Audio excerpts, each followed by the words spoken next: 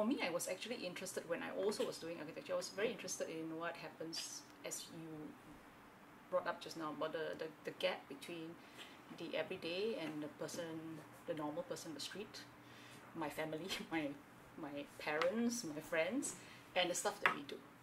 And because there was such a great disconnect between the two, I was always thinking of uh, are there ways and means to bridge this connection? Yeah. And I think so from all my the things that I've been doing, uh, always trying to answer this question, but or maybe in different ways. Also, I, I found that increasingly the things that I was reading didn't come from the discipline; they came from other uh, disciplines like uh, cultural geography, anthropology, ethnography. Uh, I mean, these people were doing the stuff, or material culture, were doing the stuff that actually concerns us. It concerns things, it concerns people, the objects, and the places that they are, and they talk about these things. Of course, they don't talk about it in the same terms that we do because they don't concentrate on the aesthetics and the form and so on. But they do talk about the relationship between things. And we seemed only to be very focused on the objects, which is the building as the object. We think that, for example, when we talk about site, for example, and we have site drawings and site model, and then we talk about site. But the way we, in which we talk about it is in architectural jargon. It is very exclusive. You need to be in the club to be able to uh, understand it.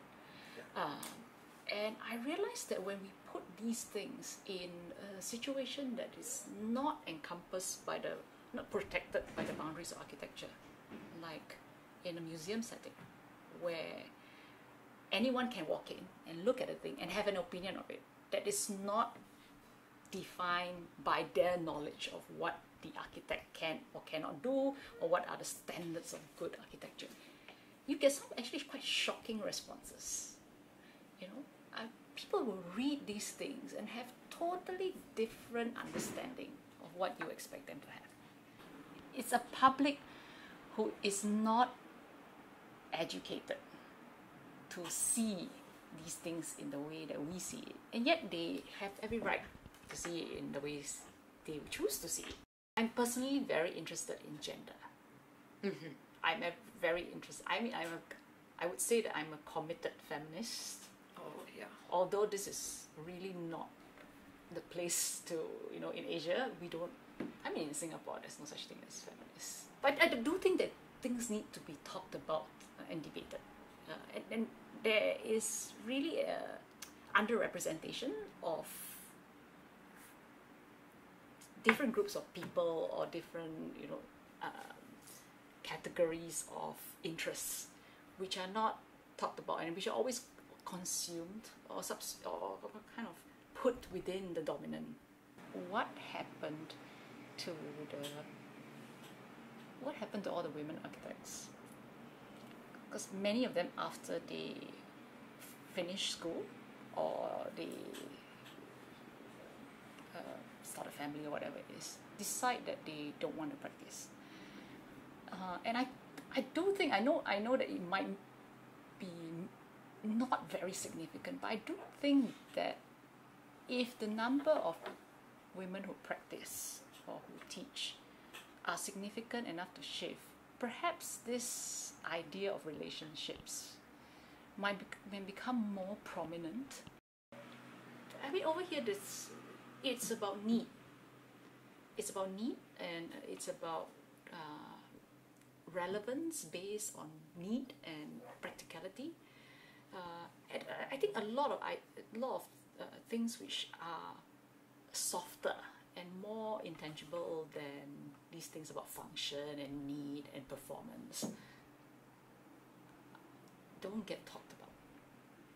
I do think there's a that there's probably a problematic in that, and I, I that's the reason also why I think the idea the, the spectrum of the interior is not taken up because it's seen as a very unarchitectural kind of soft. It's unfocused, but there is a I think there's a point in a way to complicate this very strict boundaries. Because somehow a lot when a lot is left out uh, I think architecture then becomes very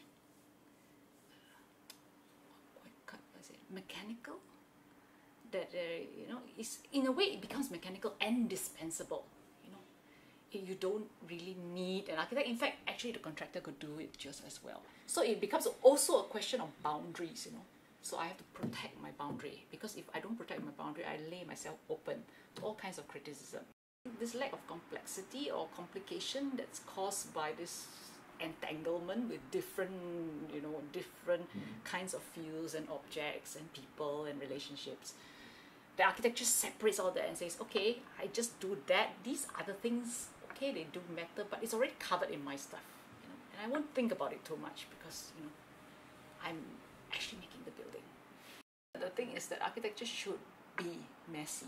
I mean it should be messy in the way of its organization that there should be many parties doing architecture at the same time you know not just the designers but the people who write people who are involved in policy you know and all these people should have conversations with each other because the problem now is that if the, the urban people are doing their own things and the designers are doing their own things and then well the academics want to talk to people and nobody wants to talk to them and